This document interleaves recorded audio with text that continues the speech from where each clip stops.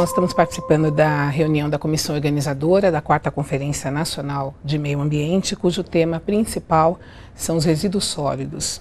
E nós estamos nos organizando para que todos os estados possam dialogar em torno desse tema tão importante e, ao mesmo tempo, tão complexo para a sociedade, que é a discussão do resíduo, a discussão do lixo e a discussão do luxo. Né? Nós vamos discutir modelo de produção, vamos discutir também o consumo. Né? É, nesse sentido, a educação ambiental é fundamental para se discutir modelo de consumo também.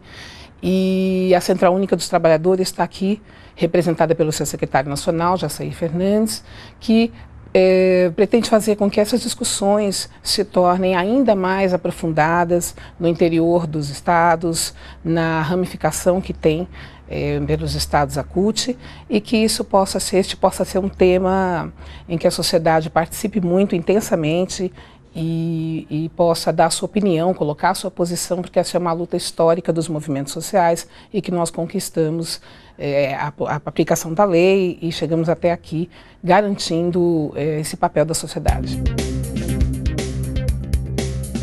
Quarta Conferência Nacional de Meio Ambiente, de 24 a 27 de outubro. Saiba mais em conferência meioambiente.gov.br.